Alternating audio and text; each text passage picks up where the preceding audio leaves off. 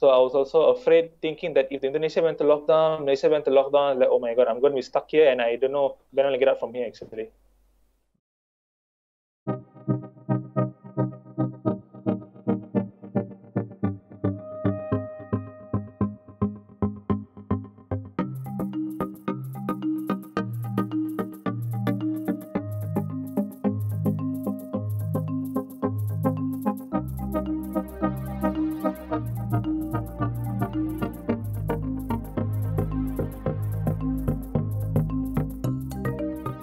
Know, at first I was really uh, dejected day by day uh, because I was checking the flights, and although the fares were shown, but I could not proceed. It really gets to you because you know you're there alone. Uh, although you have your family in touch with the uh, video call and everything, but still, you know, physically you can't get to them.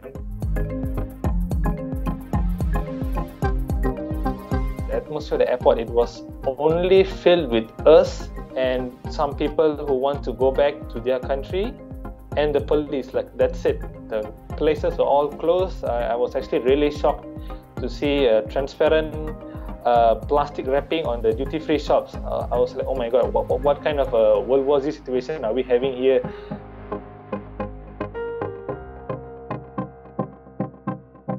I was called to the other side because uh, my temperature at that point was 37.6 so they had to call me for the additional checkup in the examination room, and then I got my oral and nasal swabs taken.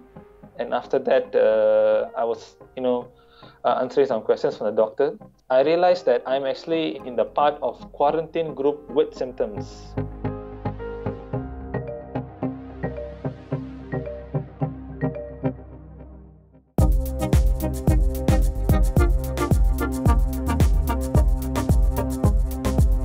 You know, I was like actually happy after seeing the situation of the place. To be honest, uh, for my place, it's like a hotel. They also told me to, you know, just uh, monitor yourself each day for your symptoms, anything, any symptoms.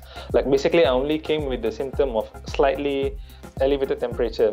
Like I was not feeling feverish at all. I was actually feeling cold. I was shivering. Probably that's why I got a bit hot. My mom and uh, my uncle, my auntie, they've been giving support to me you know, you know, in order to keep going, get through day by day.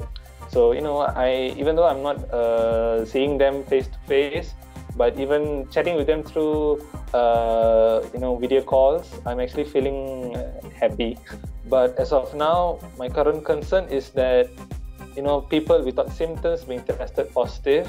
So in a way, I feel it's good to have this uh, 14 day quarantine